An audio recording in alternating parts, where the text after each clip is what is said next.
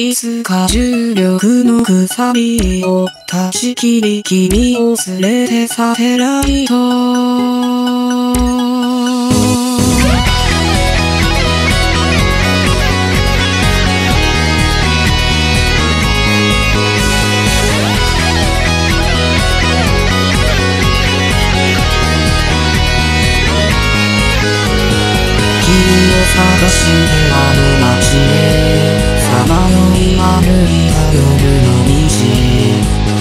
受話器越しに聞こえた声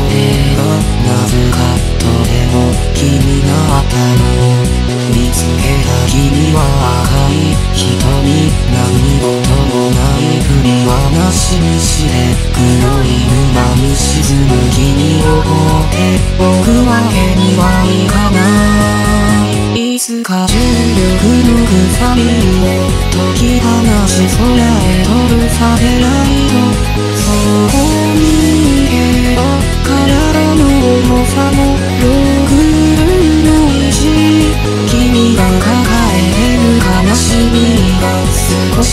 も軽くなればそれでいいいつかそこに君を連れて行くよ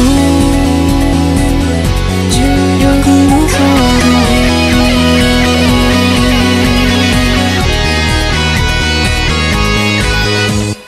宇宙旅行は無理ですが物理的に高いところへ。いろいろ考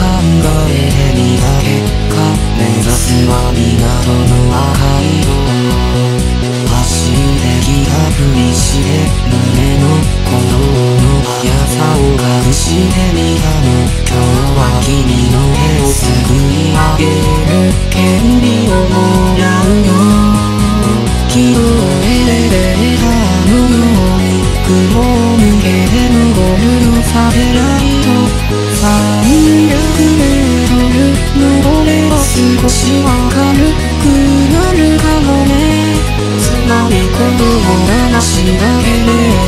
ど意味が少しでも伝われば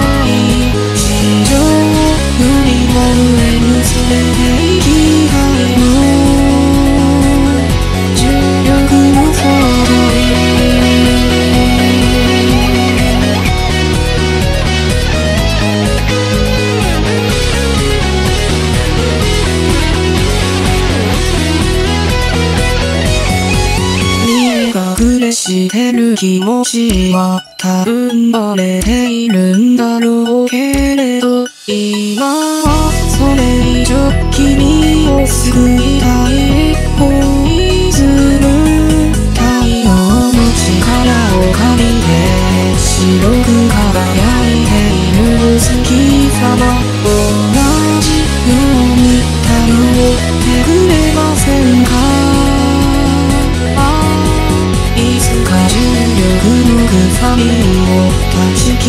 切り君を連れてサテライト。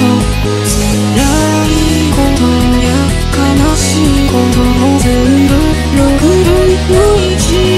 宇宙船はまだ先だ。